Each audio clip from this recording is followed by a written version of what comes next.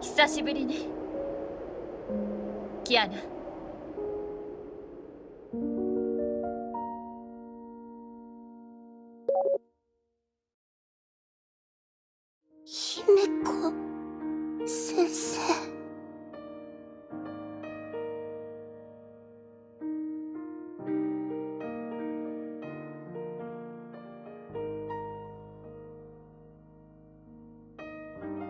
私急に現れすぎたかしそれならいいけどキアナ結構変わったわね。姫子先生は少しも変わってないね。そう？なら嬉しいわ。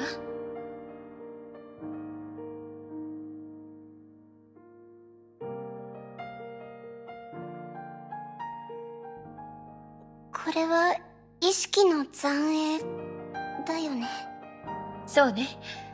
少なくともここの時間は流れることがないわ。でもこうして会話することができる。ごめんね。そばにいてあげられなくて。ううん。いいの。また姫子先生に会えてすごく嬉しい。こういう形でちゃんとお別れを告げられるんだから。あんたが変わったと思う人はきっと私だけじゃないでしょうね。うん。みんなにも言われた。それであんたはちゃんと空の律者に勝った。そうでしょ？うん。みんなのおかげ。キアナなら勝てると信じてたわ。それよりキアナセーフレイヤーに戻ってみたいと思わない？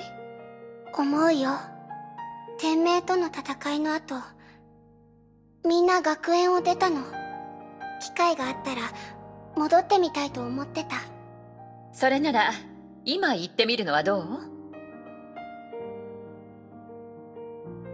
キアナ少しの間この流れない時間を楽しみましょう。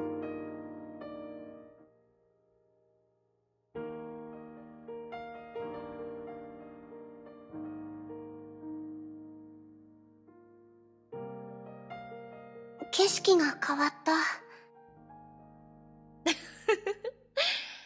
これは私の記憶よ。何年も教師をやってたからセーフレイヤーの隅々までちゃんと覚えてるわ。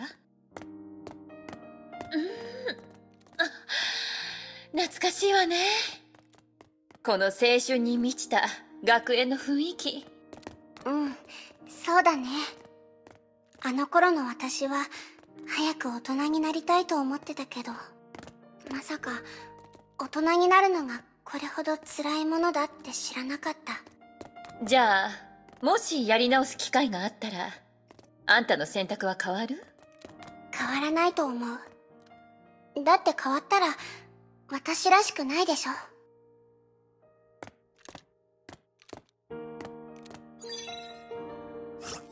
キアナご覧学寮よ。あの窓のところは私の部屋ね。あ知ってる。夜になっても姫子先生の部屋はいつも明かりがついてた。今考えるとあの頃って結構大変だったんじゃない？うーん。それほどでもなかったわ。ただ酔っ払って明かりを消し忘れてた時もあったからね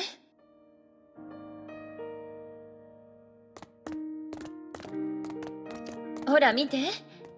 あの木の茂み。あんたが授業をサボった時いつもあそこに隠れてたわよね。ずっと気になってたんだけどどうしていつもあそこに隠れてたわけ？すぐに見つかるのに。だってあそこポッカポカで最高なんだもん。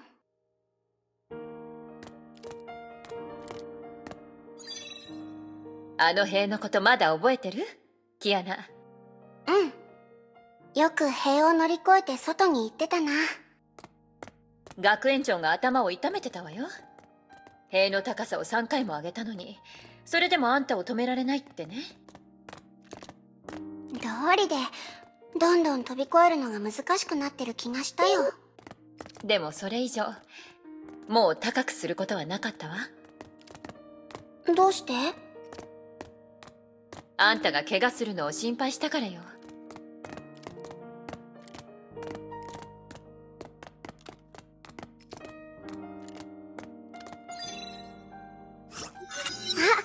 昔の訓練場だ。キアナが居眠りしない数少ない授業よね。あの頃の私はこういった戦闘訓練だけが好きだったからね手合わせで委員長たちに勝ったことは一度もなかったけど。今はどうなの？今はわからないよ。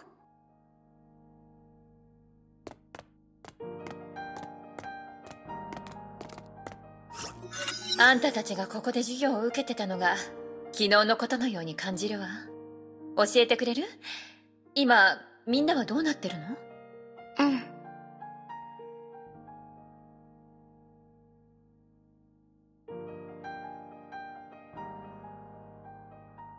そう。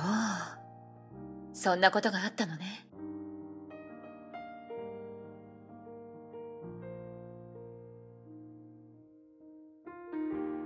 ブローニャが断りの律者になってるとは。確かにあの子にはネゲントロピー名手になる素質があるわ。普段は無口だけど観察力も学習能力もあの子の横に並ぶ者はいないもの。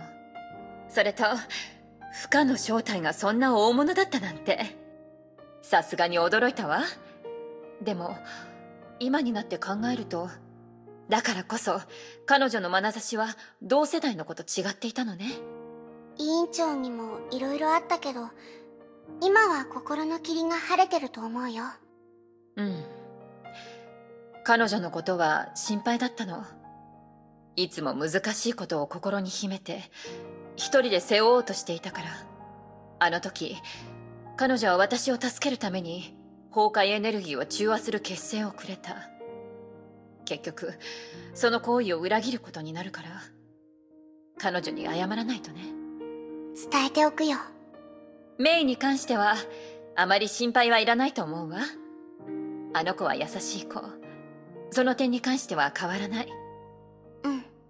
分かってるメイ先輩のことを信じてるし彼女の気持ちも分かってるから。ただつい思い出しちゃうの。ここに戻ってくるといろんなことが蘇ってきちゃうね。本当はずっと分かってた。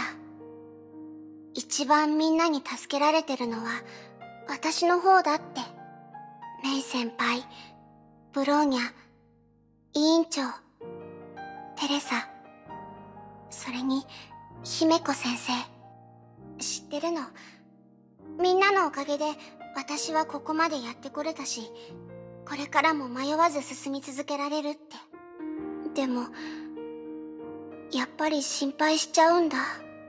心配？自分がちゃんとできてるかなって。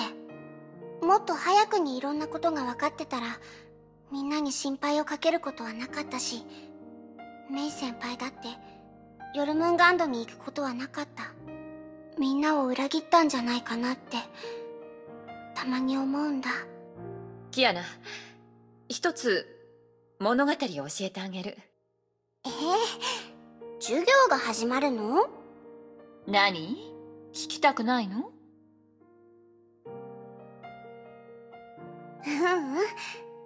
いよ。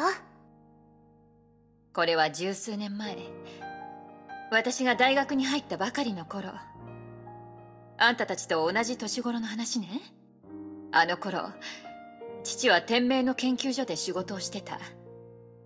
何を研究してたかについては私もよく知らない。仕事は忙しかったみたいだけどいい父親だったわ。いい成績を取った私を褒めてくれたり。時間を作って一緒に食事したり誕生日ケーキを買ってくれたり。けどある日父は私の目の前からこの世界からいなくなった。私は父の死を受け入れられずにいた。よく知ってるあの顔がこうも簡単に私の人生から消えるだなんて信じられなかった。結末を言うと私は天命に入って人工精魂を移植することでバルキリーになった。当時の私がした全ては意図的に隠された父の死の真相を調べるためだった。娘としての執念がバルキリーとしての私を動かしてたわ。でもバルキリー部隊で私はラグナ隊長に出会った。バルキリーは世界に光をもたらすもの。執念や憎しみばかり考えていてはならないって。私に言ってくれたわ。彼女のおかげで私は心に封じた苦しみを解き放ちバルキリーとして明日への目標を見つけることができた。美しくない世界をあなたの望むように変えなさいって言葉も彼女が教えてくれたの。でもあんたたちと比べてラグナ隊長と一緒に戦えた時間はそう長くなかったわ。2010年の災害。キアナ空の律者はいつも災いの結果をあんたのせいにするけどそれは違う。彼女には人々の選択が見えていないし美しい光を受け入れようともしていない。今から言うことが本当に私があんたに伝えたいことよ？ラグナ隊長が犠牲になった後私は彼女の遺品を整理したわ。彼女の生活を物語る服本お菓子の他に引き出しの奥にしまわれた手紙があったの。親愛なる戦友たちへこの手紙を読んでいるということはおそらく私はもう死んだんでしょうね。私個人の財産は組織のルールに従って処理すればいい。注意金に関しては心配することはないはず。それからこの手紙を読んでいるあなたにある物語を教えましょう。数年前永久バルキリーになったばかりの頃私はよく被災地の事後処理に派遣されていた。でも正直に言うと、そういう仕事は自分の才能を無駄にしているだけだと、あの頃の私は思っていたわ。弱くて何も知らない一般人を助けるより、敵を倒すことこそが、バルキリーの本当の責務だと、かつての私はそう考えていた。ある日、私は勇気を出して、視察に来た主教様に質問したの。バルキリーを派遣して被災者たちの手助けをすることは崩壊を倒すことにつながるのかと。主教様は私を一目見て何の躊躇なくこう答えた。つながらないと。当時の私も明けに取られたわ。そんな質問した私はお叱りを受けるか処罰されると思ってたから。でもあの方の言った言葉がきっかけで私は自分の職業に対する考えを根本から変えることになった。あの方はこう言ったの。天命はいつもこのように自分たちの信念を伝えてきたと。戦友たち、これは私があなたたちに伝えたい言葉でもあるわ。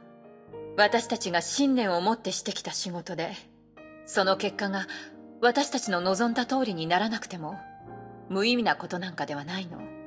私たちが守ってきた美しいもの美しいものになろうとするものそして私たちが大事に思っていたもの。それらはまだちっぽけで弱い。無駄に思うかもしれないけどそれはまだ種のままだからよ。その種はいつか美しい花を咲かせる。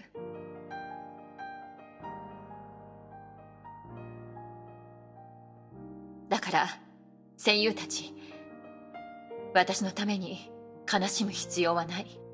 私は枯れてしまうけど希望を育む土と肥料になるわ。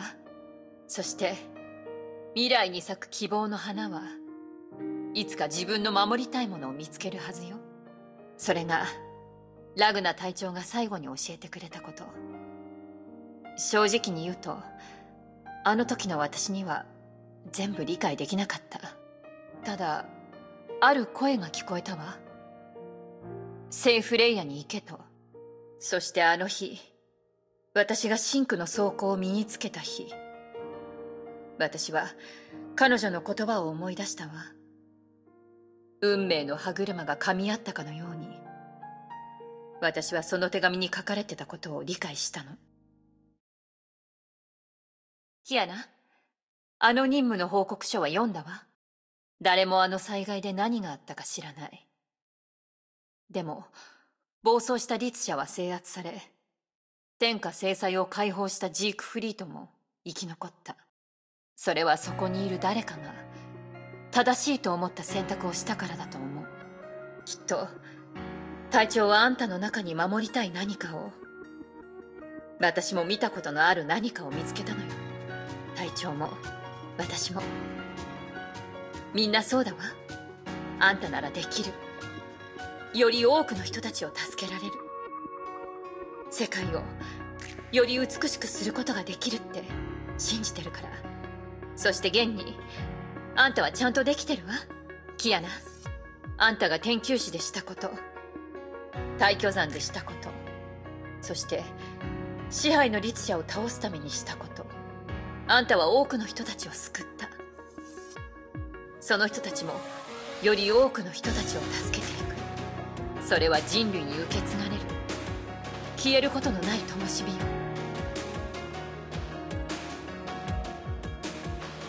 ありがとう姫子先生。本当は分かってるの。ただたまに。困惑するのも理解できるわ。キアナ。みんなに助けられた分責任を感じるでしょう。だから覚えておかないといけないあんたは一人じゃないってことをね。仲間になってくれたネゲントロピーのこと。いつもあんたたちのことを考えてる学園長のこと。頼もしい委員長の負荷のこと。ブローニャのこともね。口に出すのは得意じゃないけどあの子はいつだって仲間を思ってる。彼女の行動も成長もあんたは分かってるでしょ？それにメイ彼女はあんたたちの中で一番優しい子だから心配いらないわ。キアナ。彼女を信じましょう。きっと正しい選択をしてくれるはずだから。そしてキアナ。